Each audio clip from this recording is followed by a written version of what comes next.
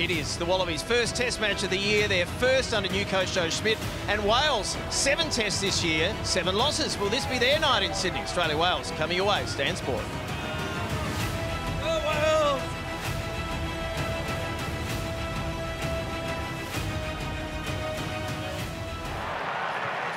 That's well handled down that left-hand side. Lolesio in there having a look. Lines it up, 15 in, 40 back on the angle, and it is good for Wales. Penalty advantage here for Australia as Gordon sends it across the line. Lolesio keeps it alive for Kellaway. Desperate tackle made by Liam Williams. Lolesio, who kicks so well for the Brumbies throughout Super Rugby Pacific, chips over his first shot of the night, and it's 3-3. Set! Big weight from Taniela Tupou, and he blows up the Welsh scrum. Lolesio, better this time, and it's 6-3. So close, Tupou.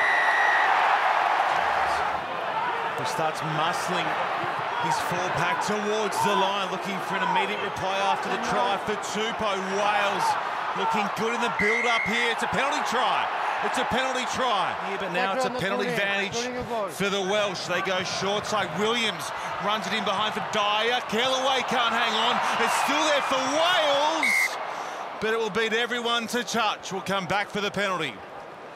To level it up at 13 each. Thomas, yes.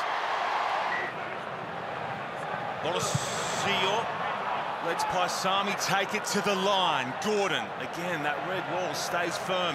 Out the back, for Daugunu, who accelerates. Filipo Daugunu dropped one short. In fact, he slides.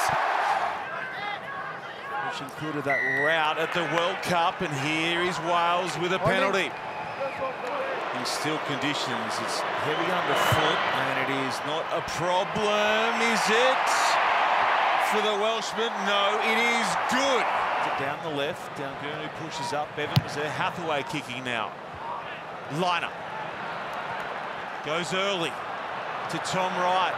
Wright cuts crossfield. Wright dummies and goes straight through. I think he'll be quick enough to go all the way. Oh, Tom Wright! And the Wallabies rediscover that winning feeling.